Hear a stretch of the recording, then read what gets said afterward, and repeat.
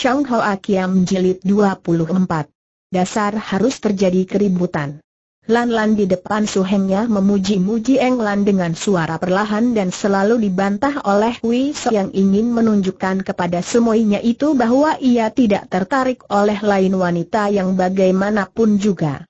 Enci itu cantik dan bukan main manisnya demikian Lan Lan mulai. Ah, biarpun cantik akan tetapi mukanya muram menakutkan orang. Tidak seperti kau yang selalu senyum dan bermuka terang.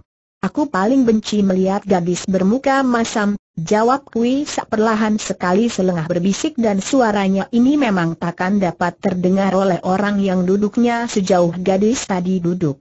Suheng, mana kau tahu orang cantik? Enci itu manis sekali.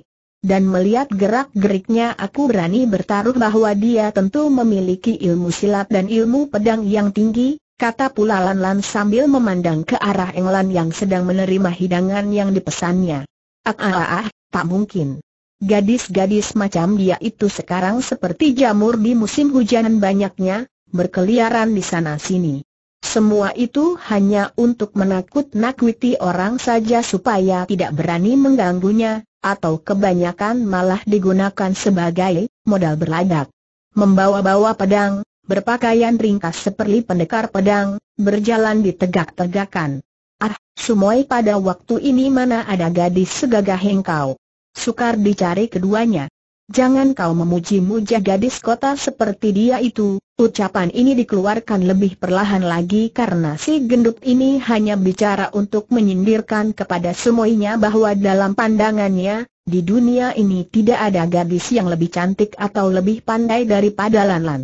Ia setengah berbisik karena sebenarnya ia tidak menghendaki kalau ucapan-ucapan ini terdengar oleh gadis yang baru mau makan minyak itu. Dasar celaka. Gadis yang sejak tadi diam saja dan sekarang sudah mulai mengangkat sumpitnya, tiba-tiba berhenti dan tidak jadi makan, meletakkan sumpitnya di atas meja.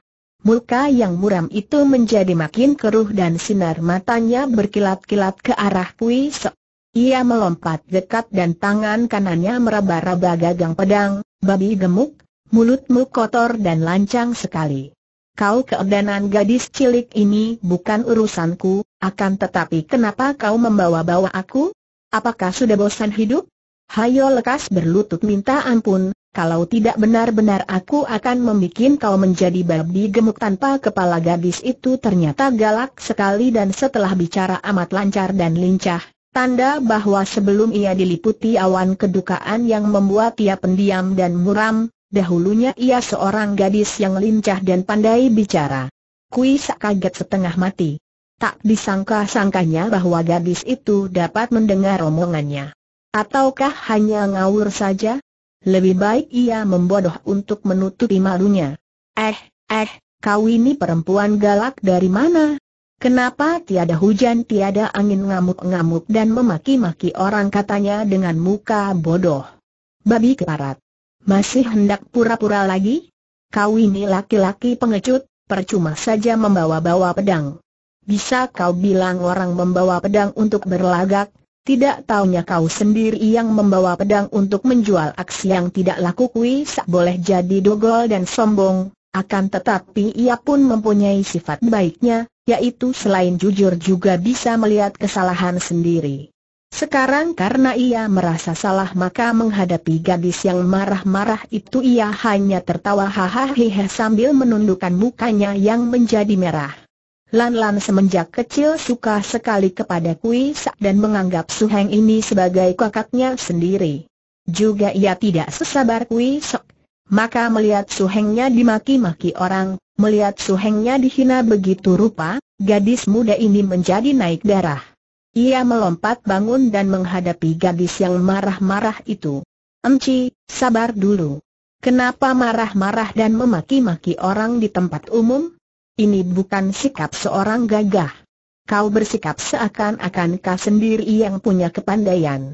Ketahuilah, suhengku diam saja bukan sekali-kali karena takut padamu, Melainkan karena dia merasa salah omong, salah kira karena kau tadi disangkanya gadis biasa. Kalau dia tidak merasa sudah salah, apa kami mau kau ina begini macam? Sudahlah, Suhengku sudah salah, kau sudah memaki, jangan kau lanjutkan. Sayang seorang gadis cantik dan gagah seperti kau ini memaki-maki di tempat umum. Memalukan, ucapan Lan Lan ini biarpun mengakui kesalahan pihak suhengnya, namun mengandung teguran pedas sekali bagi gadis itu yang agaknya memang sedang risau pikirannya dan karenanya tidak bisa menahan sabar. Ia memandang kepada Lan Lan dan berkata kletus, kau ini bocah cilik tidak tahu dijuali omongan manis membujuk merayu dari babi gemuk itu. Hati-hati, kalau kau tidak bisa menjaga diri kau akan terjatuh ke dalam perangkapnya. Minggir, aku tidak berurusan dengan kau bocah cilik naik darah lan-lan, dia memang keras hati, sungguh pun watak keras hati ini jarang muncul karena tertutup oleh sifatnya yang periang dan lincah. Sekarang dia marah benar. Seperti juga gadis itu, tangan kanannya meraba gagang pedang dan ia menantang. Habis kau mau apa? Kau punya pedang, aku pun punya, enci yang manis bagus, bocah genit, keluarkan pedangmu. Setelah membikin kapok kau baru nanti ku hajar babi gemuk bentak gadis itu. Keduanya sudah siap dan sudah menggerakkan tangan hendak menghunus pedang ketika pada saat itu dari luar restoran terdengar seruan kaget, Bu Beng Xiao Nona tak berfernama baru saja suara ini terdengar, Orangnya sudah tiba di ruangan restoran itu dan berkelebat menengahi antara Lan Lan dan gadis tadi. Baru sekarang pemuda yang baru datang ini melihat wajah gadis itu dan berserulah ia heran dan kaget. Nona Pui Englan. Gadis yang marah-marah tadi memang Englan adanya. Englan melihat pemuda itu menjadi kaget juga karena pemuda itu bukan lain adalah William. Dapat dibayangkan betapa kaget dan herannya William tadi ketika lewat di depan restoran itu, ia melihat dua orang gadis tengah bersih tegang hendak bertanding, dan melihat Lan Lan, ia menjadi pucat karena gadis ini memang tidak ada bedanya dengan Kuasok Lan yang dikabarkan telah tewas.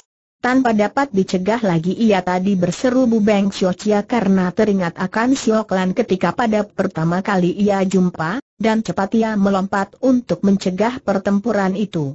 Makin besar keheranannya ketika melihat bahwa gadis yang seorang lagi adalah Heng Lan. Lan Lan memandang kepada Willy Long dengan mata terbelalak dan mulut tersenyum geli. Siapakah pemuda ini dan mengapa tadi menyebut Bu Beng Florcia? Tentu dia yang disebutnya itu, karena di situ hanya ada dua orang Xiao Nona, dan Nona yang menjadi lawannya itu sudah disebut namanya, yaitu Pui Englan. Nona Pui, kenapa kau di sini? Mana, mana Kun Hang tanya William. Melihat Englan menjadi pucat mendengar disebutnya nama Kun Hong, William segera berkata lagi, kau duduklah dulu, harap jangan dilanjutkan pertempuran ini. Ada urusan apakah Nona Pui, kau duduklah di sana, Nanti aku akan banyak bicara denganmu, karena Englan terguncang sekali hatinya melihat munculnya Willy Long yang menyebut-nyebut nama Kun Hong, ia mengangguk dan kembali ke tempat duduknya.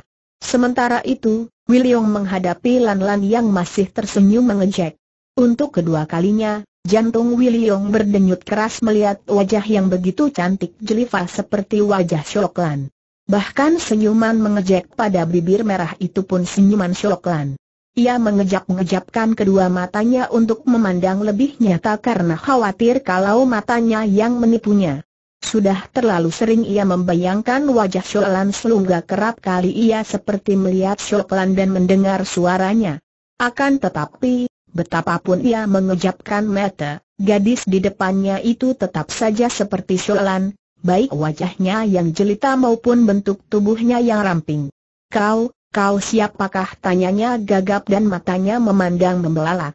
Lan-Lan menggerak-gerakan alisnya menahan geli hatinya, tetap saja ia tidak tahan dan tertawa sambil menutupi mulutnya yang kecil lalu berkejap-kejap meniru perbuatan William tadi dengan lucunya. Kemudian ia menjawab sambil tersenyum, kau sudah mengenalku, masih berpura-pura tak kenal lagi meremang bulu tengkuk William. Apakah yang di depannya ini roh Siok Lan yang mengganggunya? Mukanya sebentar merah sebentar pucat, dan suaranya gemetar ketika ia bertanya, kau, kau siapakah? Siapa namamu? Apa betul kita pernah saling berkenalan Lan Lan memandang heran? Apakah pemuda ini miring otaknya? Sayang kalau miring otaknya, pemuda begini tampan dan suaranya sedap amat didengar. Kalau tidak miring otaknya, mengapa begini aneh? Dan suling itu, orang lain membawa pedang kenapa dia membawa suling? Tadi datang-datang kau menyebut namaku, masa lupa lagi Lan-Lan mempermainkan. Betulkah? Aku lupa lagi. Siapa sih namamu tanya Williong, agak tenang hatinya karena sikap lincah dan kenes dari gadis itu membuat ia berbeda dari Shoklan yang pendiam dan sungguh-sungguh. Juga sekarang baru terlihat jelas olehnya bahwa gadis ini jauh lebih muda dari Shoklan pantas menjadi adiknya. Nama kubu Beng Xiaoqialan Lan berkaca sambil tersenyum geli. William tertawa, tertawa gembira. Baru kali ini semenjak ia kehilangan Shoklan ia bisa tertawa segembira itu. Wajahnya menjadi menarik dan makin tampan, kelihatan muda sekali ketika tertawa ini sehingga Lan Lan tertarik hatinya. Dan kau siapa? Kenapa datang-datang mencegah orang hendak mengadu pedang? Enci itu galak sekali, kalau kau kenal dengannya tolong kau beritahu lain kali jangan galak-galak seperti ayam bertelur. Eh, kau siapakah? Kau membawa suling, tentu kau tukang tiup suling yang pandai ya aneh sekali. William biasanya bersikap pendiam dan serius, akan tetapi kali ini ia mau melayani gadis remaja yang mempermainkannya. Dengan gembira ia mengangguk. Memang aku tukang suling, tuako yang baik. Kalau begitu coba kau meniup sebuah lagu untukku. Mau aneh benar. Seperti lupa diri, lupa bahwa ia berada di dalam restoran dan bahwa sekarang para tamu dan para pelayan menonton pertunjukan itu, lupa bahwa ia diperlakukan seperti seorang pemuda berotak miring. William mengangguk menyanggupi permintaan Lan Lan, membawa suling pada bibirnya dan tak lama kemudian ia pun menyuling sebuah lagu. Suara suling melengking, mengalun, menyelinap di antara suara rincik hujan, menimbulkan suasana yang ganjil. Semua orang bengong karena pemuda ini benar-benar pandai menyuling. Lan-Lan berdiri dengan mata bersinar-sinar, wajahnya berseri, akan tetapi lambat laun pandang matanya menjadi sayu. Suara suling itu berubah, dari garang menjadi lembut, makin lama makin menyedihkan hati. Jangan begitu sedih, tak terasa lagi Lan Lan melangkah maju setindak dan berbisik, memandang William dengan kasihan sekali. Kui Sak yang melihat, ini semua, timbul kemarahannya karena cemburu, ia melompat ke depan William dan membentak, berhenti akan tetapi William seperti tidak mendengarnya dan menyuling terus. Kui Sek makin marah. Tadi aku mengalah terhadap seorang nona. Akan tetap, kau pemuda gila ini jangan main-main di depanku, berhenti dengan suling gila itu Long hanya melirik sedikit. Keningnya berkerut tanda ia tak senang diganggu, namun ia menyuling terus, kau berani berlagak di depan Sin Hui Kiam Kuisek? Apa kau ingin digampar? Untuk ketiga kalinya, berhenti. Kalau tidak, Terpaksa ku gampar dan jangan bilang aku terlalu berkata demikian ia mengangkat tangan mengancam sambil melirik ke arah England seperti menyatakan bahwa sebagai orang gagah ia tidak sudi datang-datang menampar orang, akan tetapi lebih dulu mengancam sampai tiga kali. Akan tetapi England diam saja dan di dalam hatinya memandang semua itu sebagai lelucon. Tentu saja ia tidak mengkhawatirkan William, ia tidak begitu gila untuk mengkhawatirkan keselamatan pemuda sakti ini. Benar-benar kau mencari celaka bentak Kui Sak dan tangannya sudah bergerak untuk menampar. Su Heng, jangan lan-lan mencegah. Akan tetap, terlambat. Tangan dengan telapakannya yang lebar dan kuat itu sudah melayang dan terhenti di tengah udara. Aneh sekali kalau dibicarakan. Tahu-tahu tubuh tinggi besar itu berdiri diam tak bergerak dengan tangan kanan masih diangkat di atas kepala William, akan tetapi tidak jadi diturunkan dan tidak bergerak. Seluruh tubuh Wisa seperti beku dan kaku, hanya matanya yang sipit itu saja berputaran kaget dan bingung, William masih menyuling terus. Lan-Lan yang melihat keadaan Kui sedemikian itu, kaget sekali. Ia mengguncang-guncang tubuh Wi Sak dan memanggil.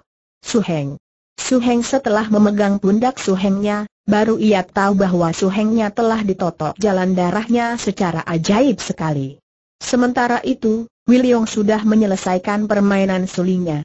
Melihat Lan Lan mengguncang-guncang tubuh Hui Sek, ia lalu menggerakkan sulingnya ke arah iga pemuda dogol itu yang seketika terbuka kembali jalan darahnya, mengeluh dan memandang kepada William dengan mati melotot. Bagaimana pendapatmu tentang permainan sulingku?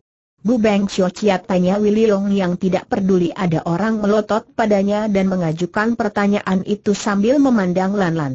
Gadis ini masih belum hilang kagetnya. Setelah William tadi menotok iga suhengnya barulah ia mengerti bahwa suhengnya tertotok oleh pemuda peniup suling ini, maka dapat dibayangkan betapa heran dan kagetnya, juga disertai rasa kagum. Bagus, hanya sedih sekali. Tadi kau apakan suhengku tanya Lan Lan, lagaknya seperti anak kecil. William makin terharu melihat wajah dan gerak bibir serta suara yang membuat ia merasa berhadapan dengan Syok Lan. Ia tak dapat menjawab pertanyaan tadi, hanya memandang kepada Kui Sak dengan senyum. Kui Sak marah bukan main. Dicabutnya pedang dari punggungnya dan sambil berseru keras ia menerjang William. Para tamu dan pelayan restoran itu menjadi bingung dan ketakutan, lari berserabutan melalui pintu samping dan pintu belakang, melarikan diri karena takut terseret dalam perkelahian. Suheng, jangan kembali Lan-Lan mencegah Suhengnya. Akan tetapi melihat Pui Sak nekat terus, terpaksa gadis ini melompat mundur dan menonton dengan hati berdebar, lah melihat betapa pemuda tampan itu hanya menggunakan sulingnya tadi untuk menangkis serangan pedang Suhengnya.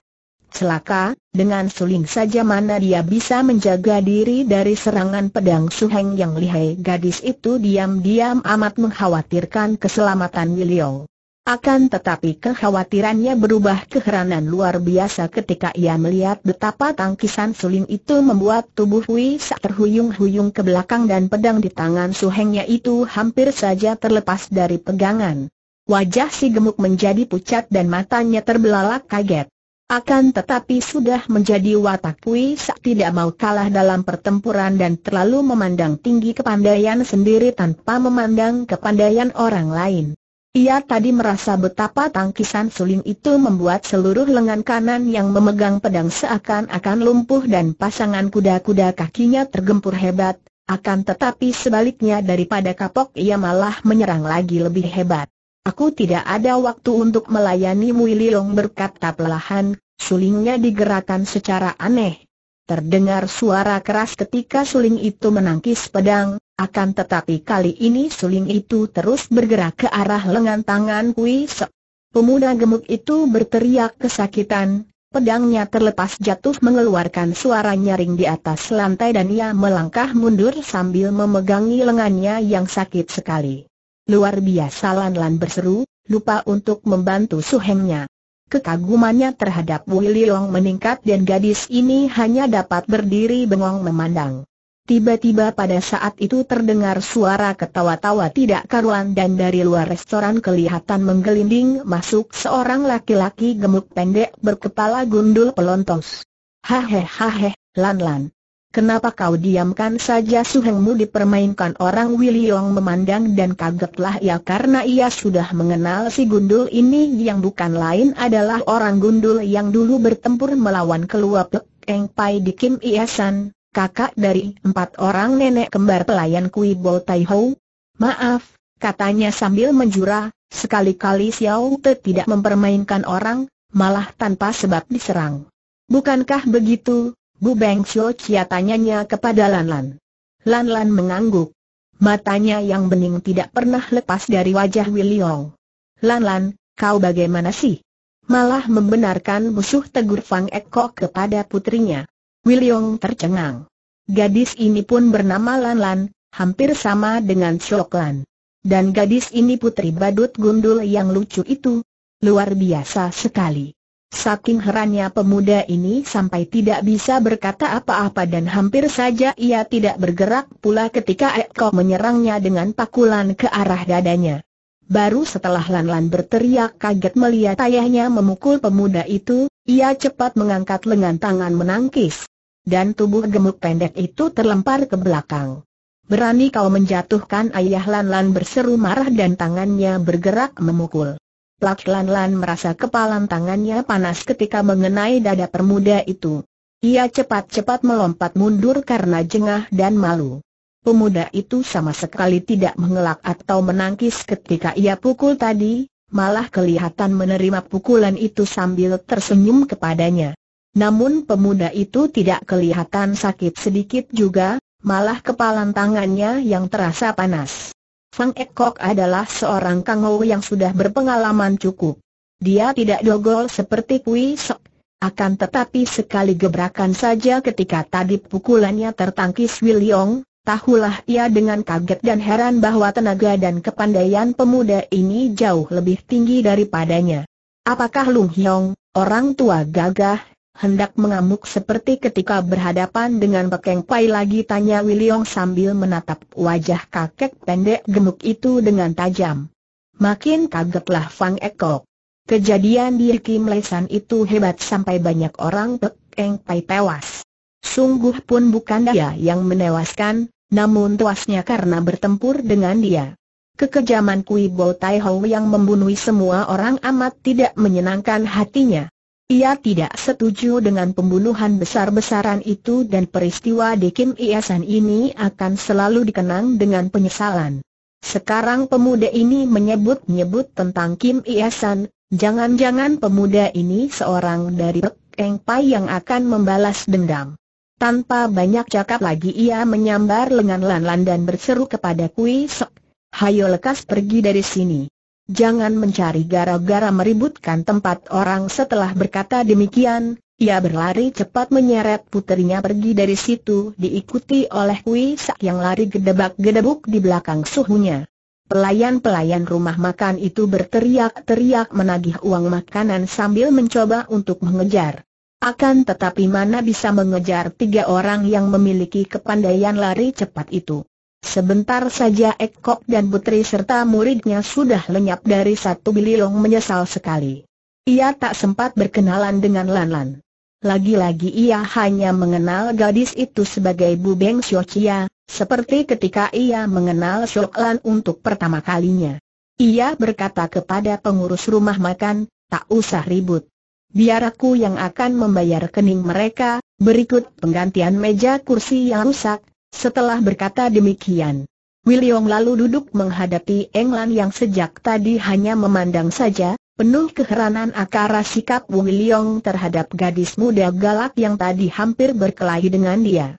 Setelah duduk berhadapan dengan England, sampai lama William masih diam saja seperti orang termenung, Agaknya peristiwa yang baru saja dialaminya masih berkesan dalam-dalam di hatinya. Tio Tai Hiap, gadis tadi sama benar dengan Enci Sholan, kata Englan Uniuk mengingatkan pemuda itu bahwa ia masih berada di situ. Apa? Oh ya Nona Pui, kau masih di sini? Betul katamu, gadis tadi serupa benar dengan, dengan, Nona Kwa Sholan, jawab Wu Liong gagap. Apakah kau sudah berjumpa dengan Enci Sholan, Tio Teh Hiap. Dan bagaimanakah urusanmu dengan dia? Kuharap saja sudah beres kembali, kata pula gadis itu yang teringat akan peristiwa yang terjadi antara pemuda ini dengan Sholan, yaitu tentang terputusnya pertunangan, sehingga ia sendiri dahulu berusaha untuk mengusahakan penyambungannya kembali bersama Kun Hong. Wajah William tiba-tiba menyuram seperti api Dian kehabisan minyak ketika mendengar pertanyaan ini. Ia maklum bahwa Englan belum tahu akan urusannya dengan Shoklan yang ruwet dan belum mendengar pula akan berita meninggalnya Shoklan. Melihat muramnya wajah William yang menjadi sedih nampaknya sehingga garis-garis kesedihan muncul di dahinya, membuat pemuda itu nampak tua, cepat-cepat Englan berkata, Maafkan aku kalau aku mendatangkan perasaan tidak enak padamu, Tai Hiap. William menggeleng kepala dengan sedih. Kau tidak tahu Nona. Siok Lan sudah, sudah tidak ada lagi, Eng Lan terkejut. Maksudmu William mengangguk lemah. Dia sudah meninggal dunia. Berita ini kudengar dari si Tian Ho Atong dan, ah Nona Pui, harap kau jangan membicarakan tentang Sholan, Tak kuat hatiku, Englan menundukkan kepalanya, maklum bahwa tentu telah terjadi hal hebat yang membuat pemuda ini patah hati dan berduka. Ia tidak berani lagi bicara tentang soalan sungguh pun hatinya ingin sekali tahu apa gerangan yang telah terjadi. Setelah beberapa kali bertemu dengan pemuda ini dan menyaksikan sepak terjangnya, England menjadi kagum dan normal sekali kepada Willy Long yang ia anggap sebagai seorang pendekar sakti yang patut dihormati. Nona Pui, aku tadi sengaja menahanmu di sini untuk bicara denganmu tentang Kun Hong, England mengangkat mukanya yang menjadi pucat, sambil menatap wajah William dengan pandang mata tajam. Ia benar terkejut dan tidak menduga bahwa pemuda ini akan bicara kepadanya mengenai Kun Hong. Aku tidak ada urusan dengan dia bantahnya ketus dan muka yang pucat itu segera berubah merah karena marah. Hem, kulihat kau marah kepadanya. Bagus, memang dia patut sekali menerima kemarahanmu, menerima hukumanmu, mendengar ini, England seperti mendapat hati, merasa mendapat kawan yang membenarkannya dalam perselisihannya dengan Kun Hong, serta merta air matanya mengalir turun dan ia berkata lirih, dia kurang ajar, dia menghinaku.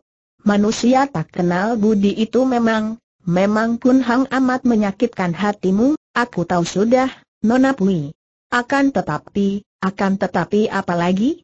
Aku tak dapat mengampunkan dia yang lan memotong, dapat menduga apa yang hendak dikatakan William karena nada suara pemuda itu sudah menyatakan bahwa pemuda ini hendak membantu Kun Hong.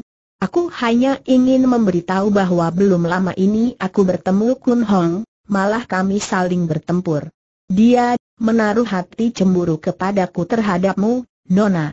Itulah kiranya yang membuat dia bersikap tidak layak. Harap kau ingat bahwa semenjak kecil Kun Hang berada dalam asuhan orang-orang tidak benar. Akan tetapi dia tidak jahat, hanya tersesat untuk sementara dan kiranya hanya cinta kasihnya yang besar kepadamu yang akan menolongnya. Dia, dia amat cinta kepadamu, Nona dan sekarang dia seperti orang gila mencari-carimu. Demi cinta kasih murni, apakah kau tidak mau menemuinya air mata makin deras mengucur turun dan kedua mata England. Ia melompat berdiri dan berkata terisak-isak. Tidak. Tidak sudi lagi aku. Dia boleh mampus setelah berkata demikian ia berlari pergi. William hanya meneriakan kata-kata. Nona Pui jangan ulangi lagi hal celaka yang terjadi antara aku dan Shoklan. Kun Hang dapat diinsyafkan oleh cinta kasihmu. Kasihanilah ya akan tetapi England sudah pergi jauh, lupa membayar makanannya. Terpaksa Willy Long merogoh kantong dan membayar semua harga makanan, baik yang tadi dimakan oleh Kui Sak dan Lan Lan, maupun hidangan yang baru dimakan sedikit oleh England. Dia sendiri tidak membeli apa-apa tidak ada selera lagi padanya, tidak ada nafsu makan setelah ia mengalami hal-hal yang menegangkan hatinya. Apalagi pertemuan dengan gadis yang serupa benar dengan Sholan tadi. Tak terasa dalam hatinya muncul harapan untuk bertemu kembali dengan Bu Beng Xiaochia tadi, yang ia hanya ketahui namanya memakai lan juga. Mari kita ikuti perjalanan Kun Hang yang hancur hatinya mengingat kelakuannya sendiri terhadap England. Ia merasa berdosa kepada kekasihnya itu. Apalagi kalau ia teringat betapa ia telah memperlakukan England sebagai seorang wanita rendah, malah ia maki lebih rendah daripada para pelayan Kui Bo Tai Ho. Alangkah jahat mulut dan hatinya. England, gadis yang ternyata amat setia padanya, yang sampai hampir mengorbankan nyawa Dinggo Tokau karena hendak mencarikan obat untuknya. Gadis yang suci dan murni cintanya ini ia caci maki ia perlakukan kasar dan rendah, ia tuduh yang bukan-bukan. Ia samakan dengan dirinya sendiri, dengan dia yang sudah rusak moralnya. Makin dia ingat makin sakit dan menyesal hati Kun Hang kepada diri sendiri. Teringatlah ia akan semua pengalamannya, akan semua jalan hidup sesat dan hina yang pernah ia lalui. Teringat ia akan Tok Sim Sian Li akan selir-selir gurunya, teringat pula ia kepada Chio Kim Liang kakinya sampai buntung karena dia. Teringat juga kepada wanita-wanita yang telah memasuki jalan hidupnya, kepada Kui Bo Tai Ho dan para pelayannya. Dia yang sudah begitu rusak dan bejat moralnya, masih berani mencaci maki dan memfitnah yang bukan-bukan kepada Englan gadis suci murni itu. Aku sudah layak mampus katanya berkali-kali ketika seperti orang gila ia mendayung perahu pergi meninggalkan Ban Motu untuk mencari Englan. Aku harus temukan dia, aku harus minta ampun kepadanya atau mati di depan kakinya demikian ia mengambil keputusan. Karena sedih dan menyesalnya kepada diri sendiri, batu kemalaim yang Giokcu yang sudah ia dapatkan itu tidak ia pergunakan. Ia tidak peduli lagi berapa lama ia masih akan hidup. Ia mencari keterangan bertanya sana-sini, namun England seperti lenyap di telan bumi, tidak meninggalkan bekas. Biarpun demikian, Kun Hang tidak menghentikan usahanya, terus mencari dengan hati mengandung kedukaan besar. Pada suatu hari, kedua kakinya yang sudah penat itu membawanya ke lereng Gunung Tian Musan yang letaknya di perbatasan Provinsi Kiangsi dan Anhwi. Tanpa ia sengaja ia telah tiba di bagian yang penuh dengan tebing curam dan daerah yang berbatu amat berbahaya. Sukar sekali tempat ini. Dilalui orang kalau orang tadi tidak memiliki kepandaian tinggi. Kun Hang sendiri yang sudah tinggi ilmunya, karena tempat itu masih asing baginya, terpaksa melompat-lompat mencari jalan yang enak. Akhirnya ia tiba di dataran yang sebelah kirinya merupakan tebing yang amat suram, ratusan meter dalamnya jurang yang amat terjal di sebelah kiri itu. Akan tetapi kalau orang berdiri di atas tebing memandang ke bawah, tamasya alam yang luar biasa indahnya terbentang luas DP bawah kakinya, membuat orang terpesona oleh keindahan yang jarang terdapat ini. Sampai lama Kun Hang berdiri di situ, menikmati pemandangan indah dan tiupan hawa gunung yang sedap nyaman. Terhibur juga hatinya oleh pemandangan dan suasana yang indah tenteram dan sunyi itu. Memang, dikala manusia menyadari akan kebesaran alam, dikala ia merasa bahwa dirinya sebagai satu titik bagian alam yang amat kecil, amat tidak berarti, saat itu ia akan kehilangan watak egoisnya, merasa bersatu dengan alam dan karenanya perasaan-perasaan pribadi seperti marah susah dan lain-lain lenyap sekaligus, terganti perasaan yang ayam tenteram. Saking tertariknya Kun Hang oleh semua keindahan itu, yang membuat jiwanya yang selama ini kelelahan menjadi nikmat seperti mengalami istirahat yang nyaman, ia berdiri seperti patung, seperti dalam keadaan sama yang hening sehingga ia tidak tahu bahwa dari kaki gunung terdapat bayangan orang berkelebat ke sana kemari, melompat dari batu ke batu dengan amat lincah tanpa mencari-cari jalan seperti Kun Hang tadi. Ini menandakan bahwa orang itu sudah biasa dengan jalan di daerah ini sehingga tanpa melihat ia dapat melompat ke sana kemari mendaki ke tebing atas. Setelah dekat, ia mengeluarkan seruan tertahan melihat pemuda itu berdiri di pinggir jurang seperti patung batu. Yang baru datang ini seorang gadis yang pendek sekali. Kalau dilihat dari jauh, tentu orang akan menyangka dia seorang anak perempuan yang masih kecil karena ketika meloncat-loncat tadi rambutnya yang diikat ke belakang melambai-lambai.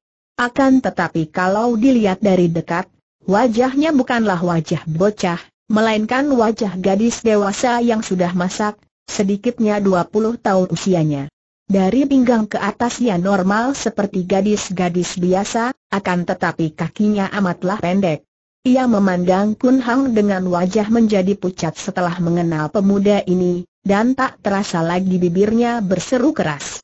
Kun Hang pemuda itu sadar dari lamunannya dan cepat memutar tubuh memandang, dengan mata penuh harap karena telinganya tadi menangkap suara memanggil namanya, suara England.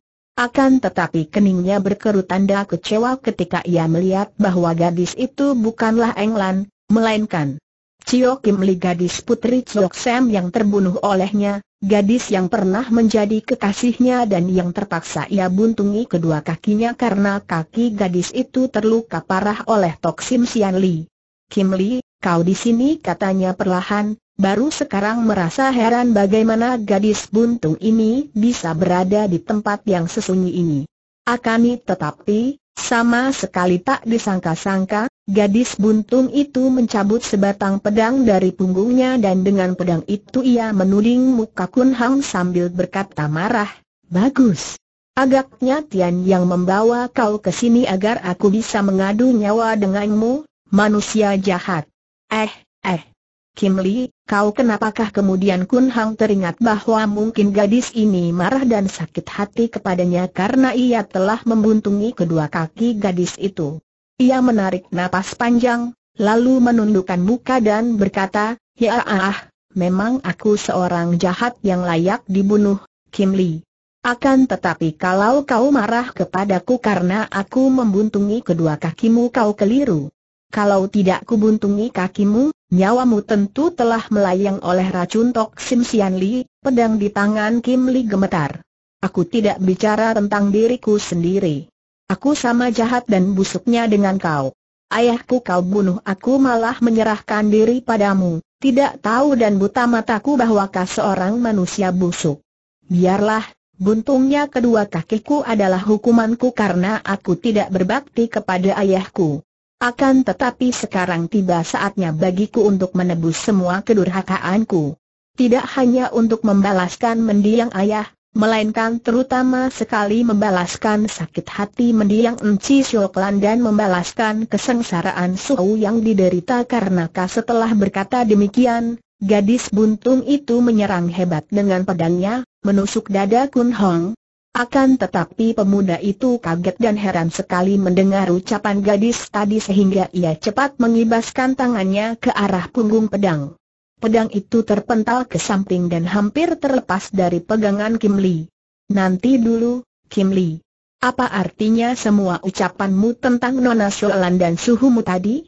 Aku tidak mengerti kenapa aku kau persalahkan terhadap mereka. Uh, kau masih pura-pura tidak tahu bentak Kim Liang menjadi makin marah karena ternyata ia tidak berdaya menghadapi pemuda yang lihai ini.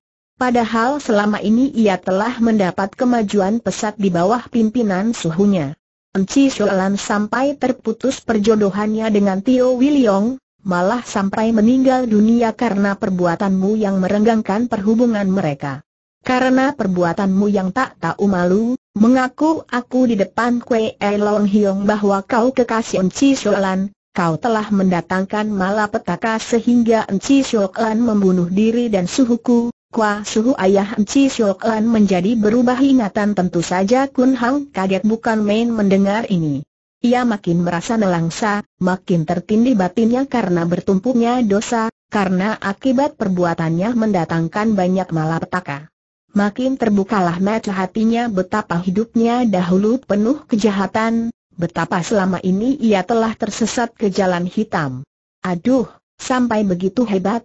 Di mana Kuala Long Hiong biar aku mencoba mengobatinya, katanya, teringat akan Im Yang Giok Chu yang disimpannya. Ia akan rela memberikan bata kemala mujizat ini kepada Kua Chun Ek, asal dapat menyembuhkannya dan dengan demikian ia dapat menebus sebagian daripada dosanya. Mana Kim Li mau percaya? Dengan marah ia menerjang lagi. Keparat jahanam, omonganmu yang beracun siapa sudi percaya? Lebih baik kau mampus pedangnya kembali menusuk dan kali ini dengan seluruh kekuatan yang ada padanya sehingga tubuhnya ikut melayang bersama pedang itu bagaikan seekor burung Garuda menyambar. Hebat serangan ini.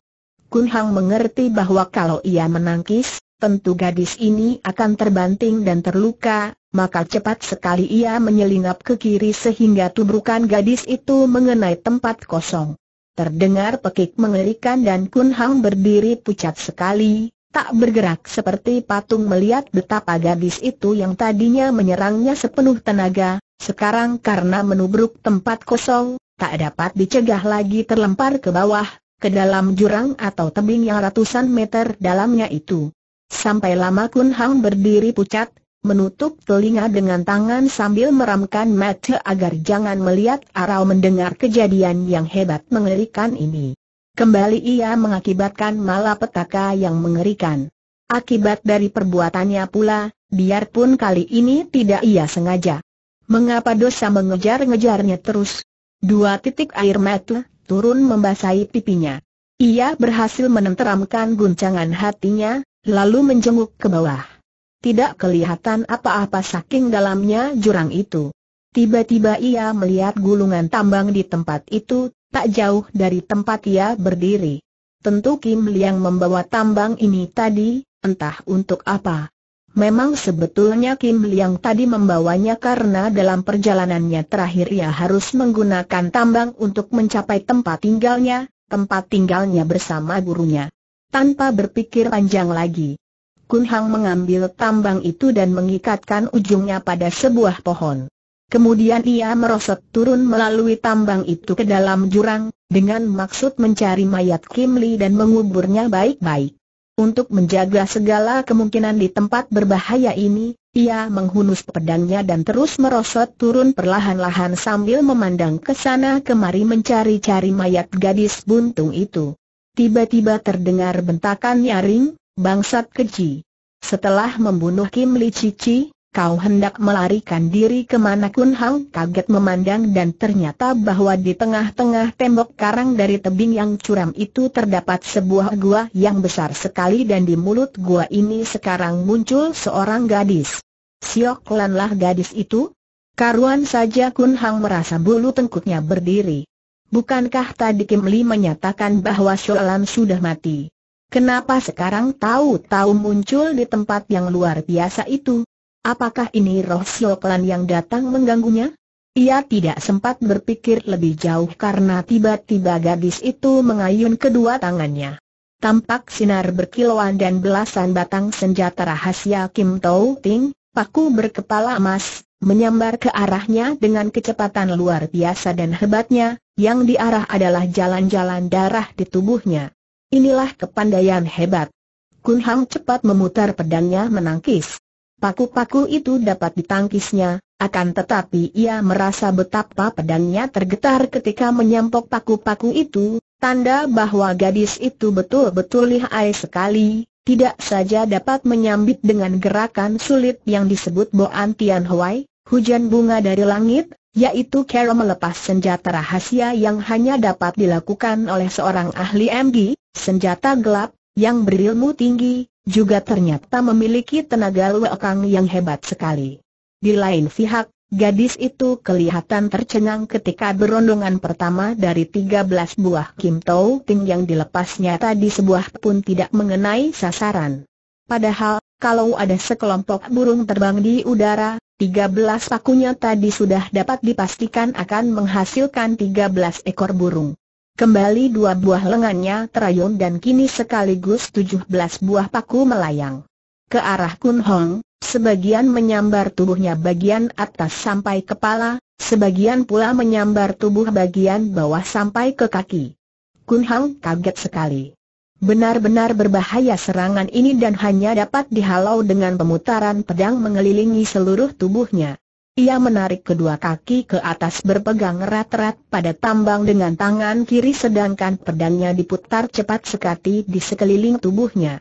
Celaka baginya, ia lupa bahwa ia sedang tergantung pada sebuah tambang, maka tanpa dapat dicegah lagi, pedangnya sendiri membabat putus tambang di atas kepalanya dan tubuhnya melayang ke bawah. Englan, satu Kun Hang berseru atau lebih tepat bersambat kepada kekasihnya dalam menghadapi maut yang teringat olehnya hanya Englan. Ia maklum bahwa kali ini tak ada harapan baginya, maka ia memegang pedang erat-erat untuk menghadapi kematian dengan pedang di tangan, biarpun mati terbanting hancur. Pada detik yang gawat itu dua buah paku menyambar dengan kepala di depan, tepat menotok jalan darah TTW Hiat dan Yan Goat Hiat di tubuh Kun Hong. Seketika itu juga tubuh Kun Hong menjadi kaku seperti kayu. Dia tidak mampu menahan karena memang keadaannya sudah tak berdaya dan ia sendiri tidak pertiuli lagi akan serangan orang maka mendiamkan saja jalan darahnya tertotok oleh paku-paku yang sengaja disambitkan dengan terbalik itu. Kemudian terdengar suara bersiut. Sebatang tambang lain menyambar dari arah gua itu dengan cepat dan tepat sekali tambang itu melibat tubuh Kun Hang dan di lain saat tubuh pemuda itu sudah dibetot melayang ke arah gua, jatuh berdebuk di lantai gua depan kaki gadis gagah perkasa itu. Siapa yang kau tawan itu anakku terdengar suara laki-laki yang nyaring dan besar.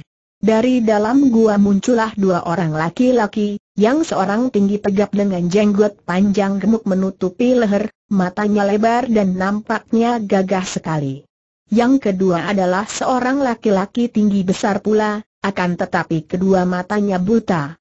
Mereka keluar dan melihat Kun Hong, tiba-tiba laki-laki tua tinggi besar itu tertawa bergelak. Hahaha, kalau kita bicara tentang iblis, dia muncul. Saudara Kue Santek tahukah kah siapa iblis yang ditangkap oleh anakku siapakah dia? Saudara Kuacun Ek balas tanya si buta. Hahaha siapa lagi kalau bukan Jahanam keparat Kun Hong, biang keladi keributan antara kita. Hahaha orang buta itu nampak terkejut. Juga gadis gagah perkasa yang menawan Kun Hong tadi kelihatan kaget sekali. Siapakah dia? Apakah betul Shoklan yang sudah mati di sungai? Dan kenapa Kue Santek dan Kua Chun Ek bisa berada di tempat itu? Tentu pembaca bingung karenanya.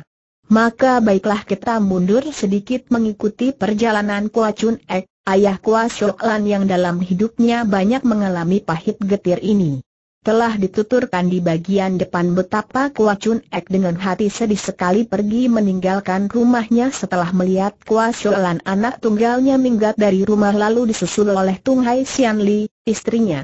Kebahagiaan berkumpul dengan anak istrinya hanya dikecap sebentar saja, malah kini terganti oleh perceraian tidak karuan yang amat menyedihkan hatinya. Belum jauh ia meninggalkan rumah, Terdengar orang memanggil-manggil di belakangnya.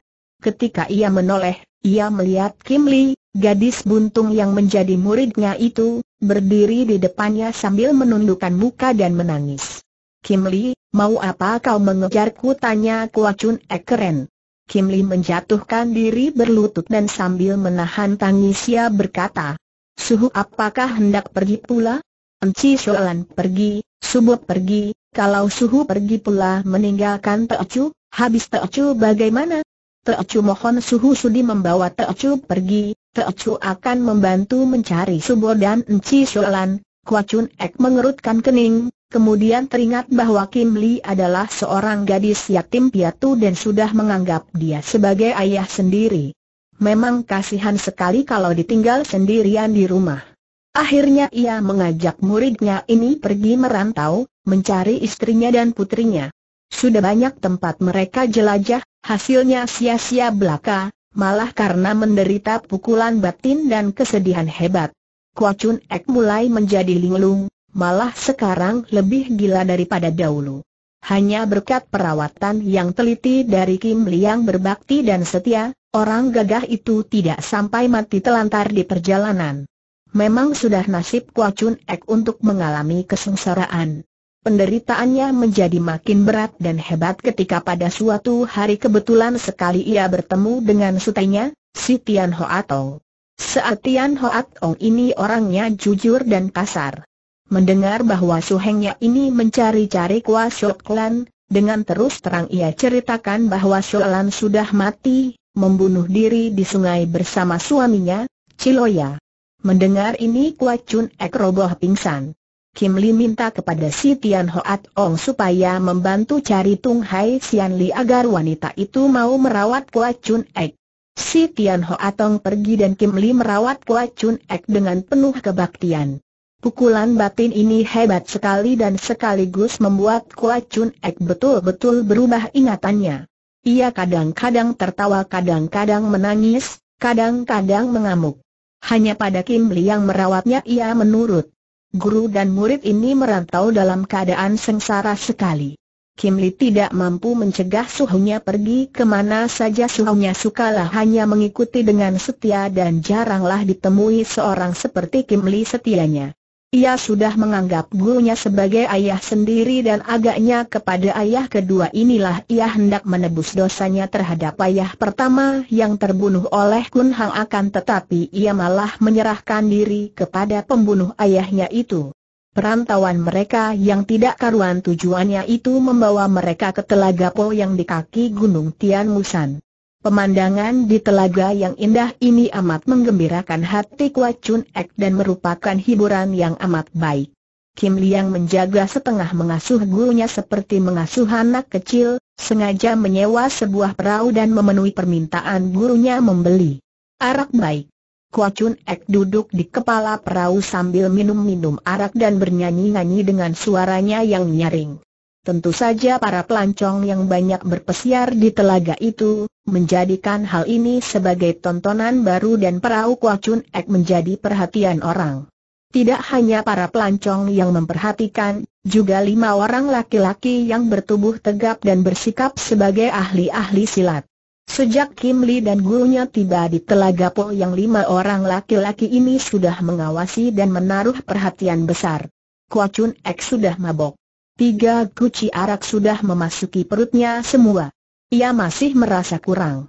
Kim Lee, araknya tambah lagi teriaknya dari kepala perahu.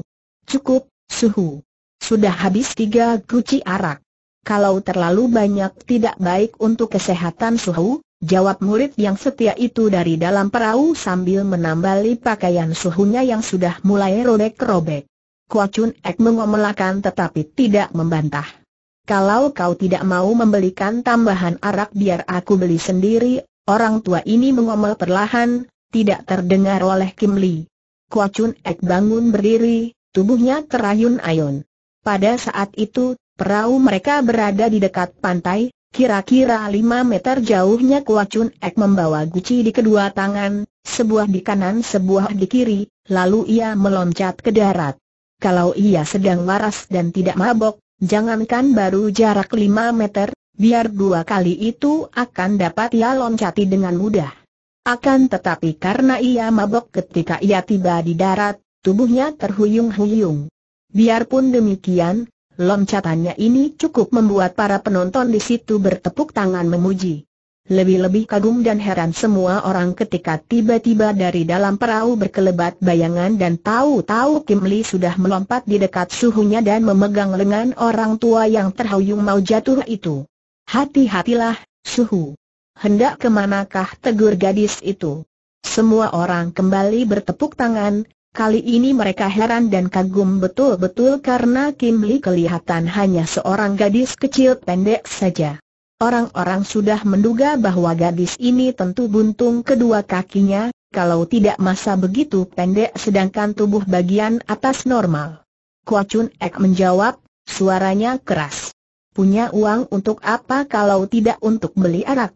Kalau uang habis, itu perhiasan-perhiasan emas perak jual saja Kim Li khawatir sekali. Memang mereka membawa perhiasan, emas dan perak dari rumah sebagai bekal perjalanan. Kalau suhunya begini berterang di muka umum apakah hal itu bukan berarti menarik perhatian orang-orang jahat dan perampok? His, suhu. Baiklah Teocu membeli seguci lagi. Suhu tunggu saja di sini ya. Kuacun Ek mengangguk-angguk. Akan tetapi sebelum Kim Li pergi, tiba-tiba muncul lima orang laki-laki yang sejak tadi mengawasi guru dan murid ini. Sikap mereka mengancam dan mereka berdiri mengurung Kim Li dan gurunya. Tak salah lagi, tentu inilah maling kecil yang membunuh Giam Sute. Maling cilik menyerahlah kah sebelum kami menggunakan kekerasan orang yang bicara ini, seorang laki-laki berusia 40 tahunan, menjangkau dengan jari tangan terbuka ke arah pundak Kim Li. Akan tetapi, dengan mudah dan gesit Kim Li miringkan tubuh mengelak sambil berseru marah. Bajingan tengik jangan pegang-pegang orang. Aku bukan maling, juga bukan pembunuh sutemu akan tetapi mana lima orang itu mau percaya. Sudah sebulan lebih, daerah Telaga Poyang ini diganggu oleh seorang pencuri luar biasa yang tidak pernah meninggalkan jejak. Lima orang itu adalah rombongan ahli silat yang didatangkan oleh para hartawan di nanti yang yang menjadi korban pencurian, untuk menyelidiki dan menangkap pencuri itu.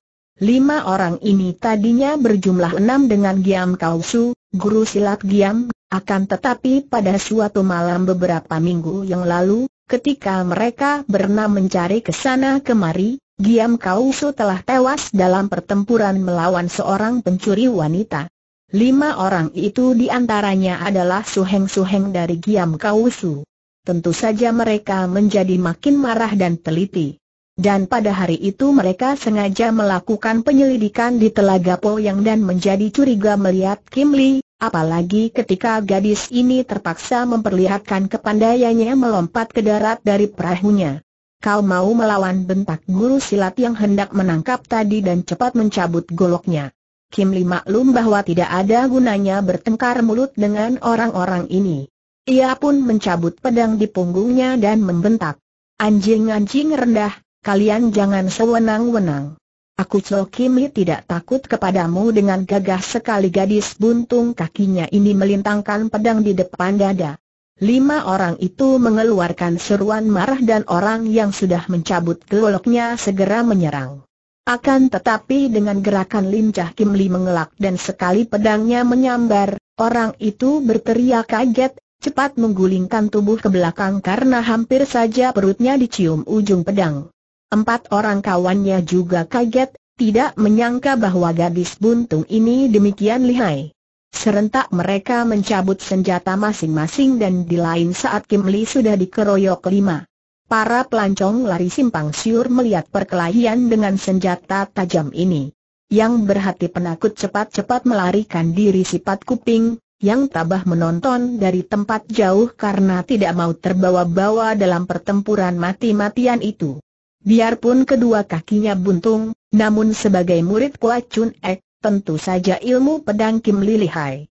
Akan tetapi, kali ini ia menghadapi keroyokan lima orang guru silat yang rata-rata memiliki kepandaian tinggi sehingga dalam 20 jurus lebih, gadis buntung ini sudah menjadi terdesak hebat dan hanya dapat melindungi diri, tak kuasa membalas serangan lawan yang bertubi-tubi datangnya. Tiba-tiba terdengar seruan nyaring sekali dan Kuacun Ek dengan geramnya menyerbu ke dalam pertempuran. Dua buah gucinya digerakkan dan pecahlah kepala seorang pengeroyok sedangkan guci yang satu lagi membuat pedang seorang pengeroyok terpental jauh. Akan tetapi karena dalam keadaan mabok, tubuh Kuacun Ek terhuyung-huyung hampir jatuh. Bukan main kagetnya empat orang lain yang melihat seorang di antara mereka roboh dan tewas sekali pukul oleh kakek mabok itu. Cepat mereka berteriak suhu, bantulah dari bawah pohon melompat seorang gundul tinggi besar bersenjata toya. Hwasyo ini sejak tadi hanya menonton saja sambil melenggut seperti orang ngantuk. Sekarang ia melompat dan menerjang Kua Chun Ek. Dia ini adalah seorang Hwasyo ketua kelenteng Tian Hwe Ateng di kota Nankiang yang dimintai tolong oleh para guru silat ini. Bilem Hos yang adalah seorang Hwasyo Xiao Limpai yang tinggi ilmu silatnya. Pertempuran terpecah menjadi dua. Kim Li dikeroyok lagi oleh empat orang guru silat sedangkan Kua Chun Ek digempur oleh Hwasyo itu.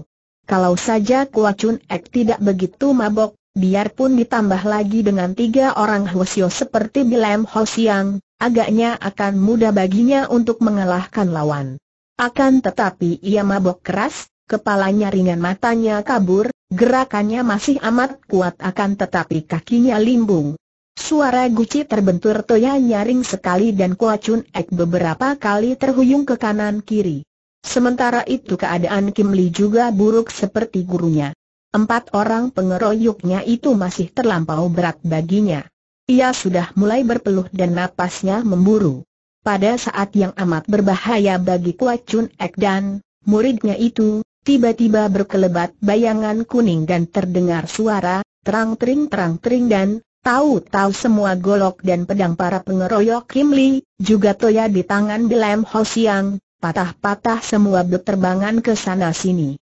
Bukan main kagetnya mereka, dengan muka pucat Hosyo dan empat orang guru silat itu melompat mundur.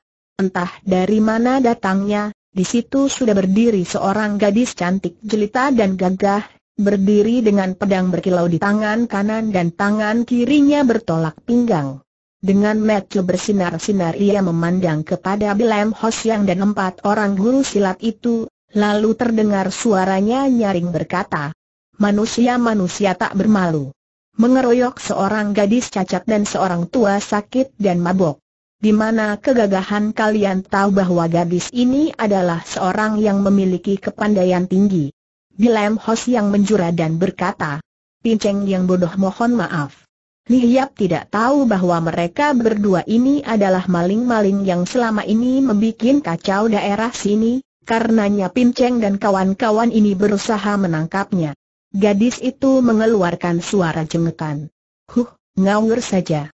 Hartawan-hartawan di sini pelit dan menindas kaum tani yang miskin sekali, Kalau sebagian hartanya ada yang ambil untuk digunakan menolong para petani miskin, sudah sepatutnya. Lihiap, seorang sute kami dibunuh oleh maling itu kata seorang guru silat yang mengharapkan gadis perkasa ini berbalik membantu mereka menangkap maling. Sute kalian si Giam itu selain menjadi kaki tangan pembesar jahat, juga lancang mulut berani menghinaku, aku membunuhnya untuk menyingkirkan bahaya bagi rakyat jelata. Kalian mau apa? Kalau kalian mau tahu siapa yang selama ini mengganggu para hartawan dan pembesar keparat di daerah ini, akulah orangnya. Jangan ngawur menuduh orang-orang lain yang tidak tahu apa-apa. Hayo, siapa mau menangkap aku ia menantang. Bilem Hosyang dan empat orang kawannya kaget sekali, akan tetapi tidak berani bergerak karena tahu bahwa gadis ini lihai bukan main. Lekas kalian pergi, dan bawa mayat ini gadis itu membentak pula. Tanpa berani membantah empat orang guru silat itu mengangkat mayat kawan mereka dan bersama Bilem Hos yang meninggalkan tempat itu. Gadis itu tersenyum, memutar tubuh menghadapi Kim Li dan burunya. Kim Li berdiri bengong memandang kepadanya dengan mulut ternganga dan mata terbelalak. Kua Chun Ek segera berteriak girang, Siolan lalu kakek ini menubruk dan memeluk gadis itu, mengelus-elus rambutnya. Suhu, bukan. Bukan Enci Siolan, biarpun serupa benar. Nona ini jauh lebih muda kata Kim Liang masih belum hilang kagetnya. Bodoh, apa matamu sudah buta? Ini Siolan anakku suara kuacun ek yang gemetar itu mengharukan hati gadis itu yang memberi kedipan mata kepada Kim Li supaya jangan mengganggu kakek itu. Kim Li membalas kedipan itu dengan pandang mata, terima kasih sekali. Kalian ini hendak ke mana dan dari manakah? Di mana tempat tinggal kalian tanya gadis itu setelah melepaskan diri dari pelukan ayahnya dan Chun Ek berdiri kegirangan, matanya yang lebar bersinar-sinar dan mulutnya tertawa-tawa tidak karuhan. Gadis itu memandang terharu sekali. Entah bagaimana, wajah kakek ini mendatangkan kasihan dalam hatinya. Lihat kami orang-orang sengsara, dan tiba-tiba Kim Li menangis teringat akan nasibnya dan gurunya. Kami tidak punya tempat tinggal dan kami mencari, puteri suhu ini, Enci Solan, yang serupa benar dengan Kak seperti pinang di belah dua, hanya usia saja yang berbeda, gadis itu makin tertarik dan menjadi terharu. Ia memegang pundak Kim Li untuk menghibur dan berkata, Ke mana sih perginya Shoklan itu Kim Li melirik kepada Kua Chun Ek, lalu mendekati gadis itu sambil berbisik, Enci Shoklan sudah meninggal dunia. Itulah yang membuat suhu seperti berubah ingatan, gadis itu menjadi pucat dan ia memandang kepada Kua Chun Ek dengan terharu sekali. Pada saat itu, Kua Chun Ek juga memandang kepadanya, lalu berkata penuh kasih sayang. Lan Ji, anak Lan, marilah kita pulang. Aku sudah kepingin sekali merasai masakanmu, anakku yang manis, gadis itu memegang tangan Kua Chun Ek, lalu menjawab, baiklah, ayah. Mari kau ikut aku ke tempat tinggalku, ia menoleh kepada Kim Li sambil berkata, Mulai sekarang kau dan suhumu tinggal bersamaku, gadis itu membawa Kua Chun Ek dan Kim Li ke lereng gunung Tian Mut San. Di tebing yang curam itu ia lalu mengerek turun Kua Chun Ek dan Kim Li melalui seutas tambang dan ternyata tempat tinggal gadis ini adalah di dalam sebuah gua yang besar dan bersih, di tengah-tengah tebing atau jurang itu. Orang takkan merasa heran lagi kalau sudah berada di dalam gua, karena di situ benar-benar indah dan nyaman. Pemandangan di luar gua membuat orang merasa berada di taman sorga dan hawanya nyaman bukan main. Kua Chun Ek senang tinggal di situ, apalagi karena ia menemukan kembali anaknya. Gadis itu dengan sukarela mengaku diri sebagai Kua Sholan, malah ia menurut nasihat Kim Li untuk berdandan persis seperti Sholan, baik pakaiannya maupun rambutnya yang digelung ke atas sampai tinggi. Dari Kim Li ia mendengar riwayat Kua Chun Ek dan Kua Sholan, mendengar pula tentang perjodohan yang terputus antara Sholan dan Tio Wiliong, mendengar juga tentang perbuatan Kam Kun Hang yang menjadi biang keladi semua itu.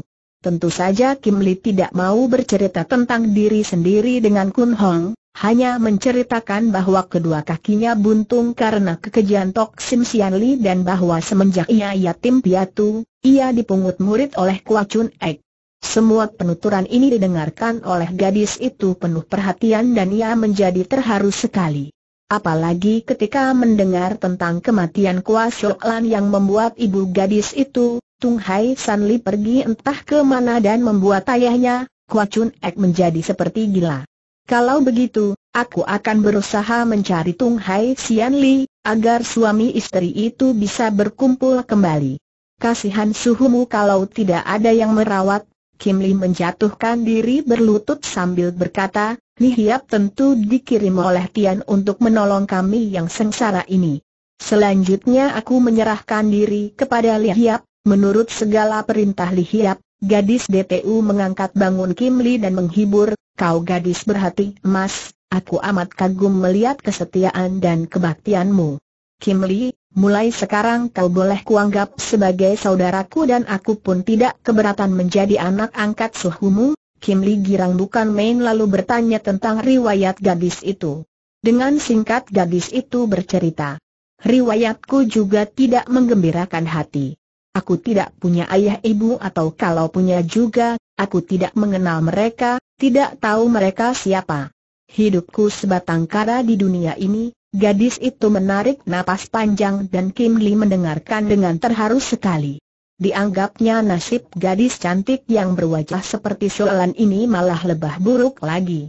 Pantas saja begitu melihat suhu yang kehilangan anak perempuan, ia menjadi kasihan dan begitu diaku anak oleh suhu, serta merta menerima. Demikian pikir Kim Lee dan memang betul apa yang ia pikirkan itu.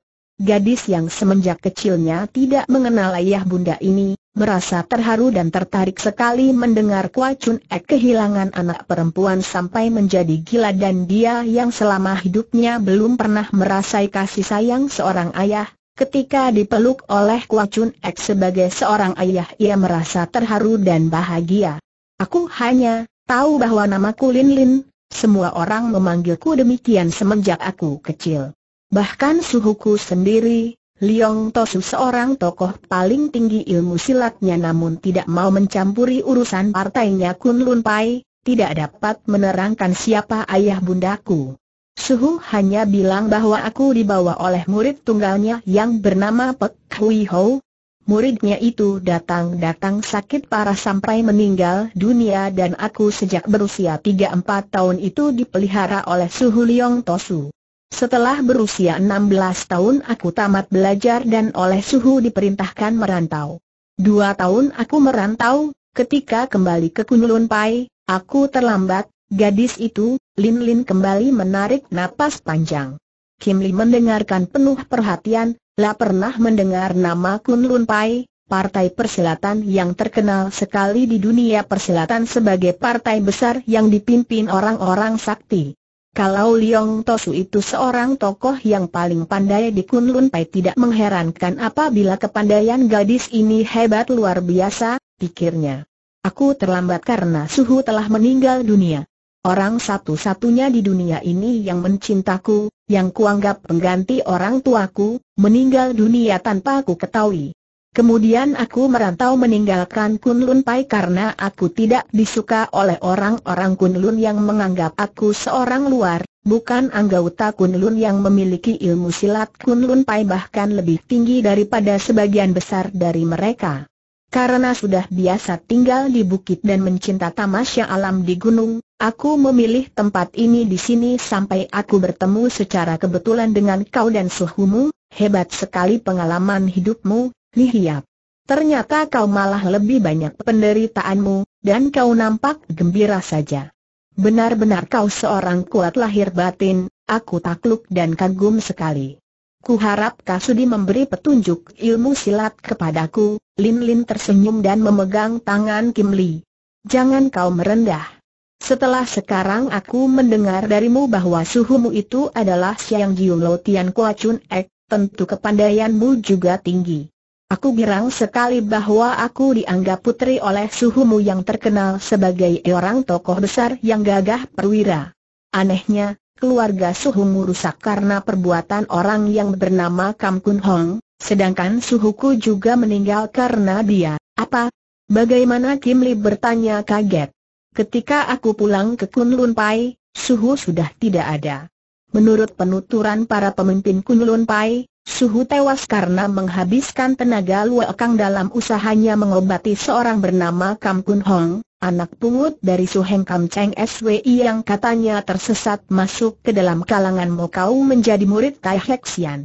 Apakah yang kau maksudkan Kun Hang pengerusak rumah tangga suhumu itu juga Kun Hang yang ini?